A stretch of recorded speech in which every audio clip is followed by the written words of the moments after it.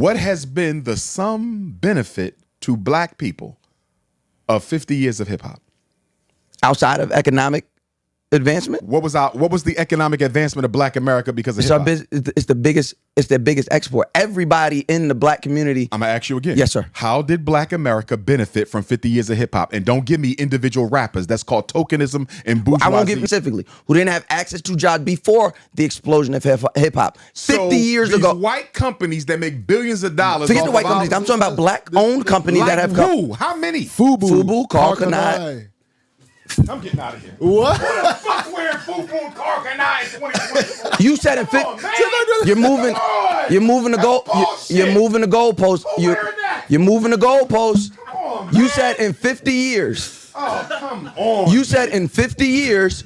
You reaching, bro. You reaching. That's not true though. People I'm- That is a reach. What? You said in 50 years. 50 years. What has You said 50 transpired? This ninja went back to the late 80s. No. This is crazy. No. Yes, it is. Yes, it but, is. But it's not as obvious. It's not where it was before. But the advancement that those four All right, men. boom, boom, boom. So 50 years, I- I've you had on the Fubu jacket and some Karl Kani. j- no, And for the billions that hip hop make, I'm supposed to be content with that.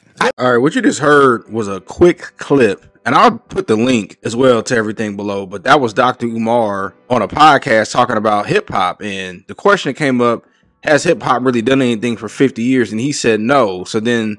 Uh, one of the brothers started talking about you know fashion and different things, and of course it got heated. Dr. Umar said that really hasn't done anything. You got other people there arguing about it, and the guy tried to say Fubu and uh, other Karl Kani, Dr. Umar stood up and walked off. And of course, I had to stop it, but he keeps going on. Dr. Umar started talking about what banks and things like that have we owned. And I have to agree with Dr. Umar.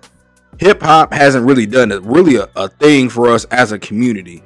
Now, have certain songs came out of it, like Dear Mama, Gotta Keep Your Head Up, Fight the Power. Sure, sure. But we're talking about overall, we don't own these record companies. Most people don't own a masters. Most people don't own a publishing. People are signed to a 360 slave contract.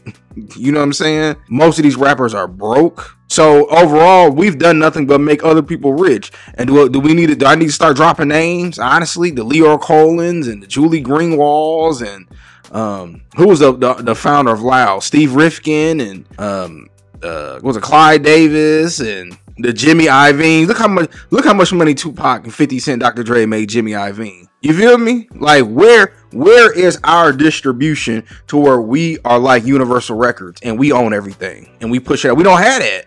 We had pockets of people. Yeah, Cash Money had a hell of a deal. Yeah, No Limit had a hell of a deal. But who else got deals? You, you still got artists now be complaining about not getting royalty checks. And then what really benefited? And most of the music, you don't hear nothing about investing. You don't hear nothing about owning properties. You don't hear nothing about building your community together.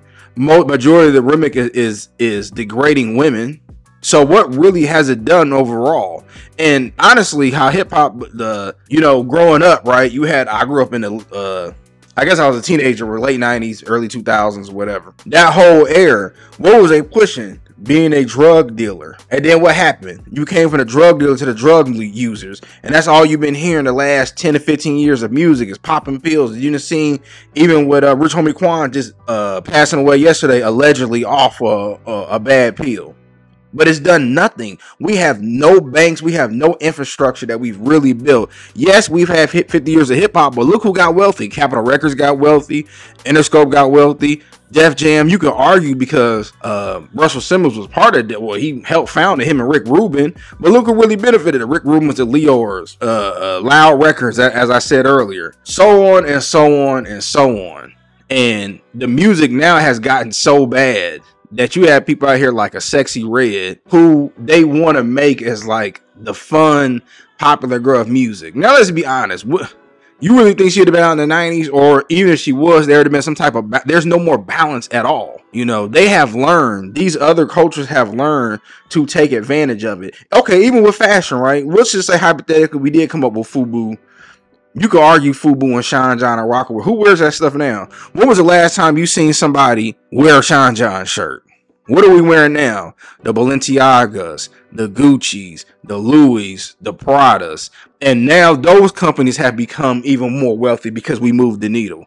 But even at one point, we was wearing our own stuff, but then we had dad up stopped not becoming cool anymore it was uncool to wear. I remember being in middle school, man, you had on a Sean John shirt, you was the man. Or one of them Sean John track outfits that was black owned, but we don't even have that no more. And overall, the music has been trash. For every Nas that's came out, look who else is. Just listen to the radio today. You ain't got to take my advice. Listen to the radio. What positive stuff are you actually going to hear? in our music. So how is it beneficial? You know what I'm saying? And most of these rappers, like I said, they dying broke, no insurance, um, all all this funding. Even um Dr. Dre, not from NWA, but from Yo MTV Raps. Look at him. Unfortunately, you know what I'm saying. What that brother going through is anybody helping him? Is as hip hop community are they helping him? With, with his current situation, no. So no, no. Hip hop overall, man, is really done more harm than more good. When it originally came out, was it more trying to spread messages? Sure, but that was in the eight. It was gone after that. By the time I was coming up, it was it was starting to turn. You know, you can't even be an MC Hammer no more. You can't even be a Will Smith no more without getting clown. So yeah, no, it hasn't. At, No, overall, it's done more harm than, than good.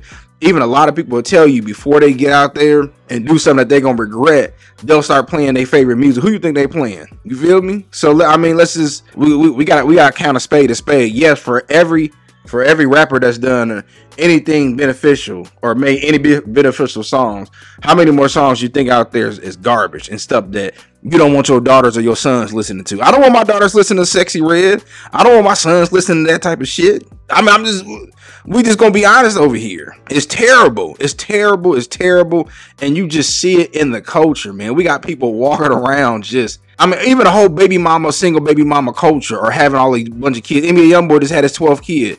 And uh, Sexy Red just had another baby out of wedlock. These things are celebrated. You know what I'm saying? These are it's promoted through hip hop. Smash a chick, smash a chick. You know what I'm saying? Or you got sexy Red, and what what what they say? Um, uh, uh, shake that ass for Drizzy, shake that ass for me. it's terrible, man. So no, a lot of people are out their feelings, man. But no, hip hop has done way more harm than good. That might not have been the original message, but when people got a hold of it, it, it just went to hell. But I just want to give my quick thoughts about it. Am I tripping? Do y'all agree? Disagree? A lot of y'all know what I'm talking about, man. Especially my older subscribers, y'all who's who growing up in 80s and 90s and 2000s like me. Come on now, y'all know, y'all know that this shit is has has not really benefited us. But I just want to give my quick thoughts about it. Tell me what y'all think.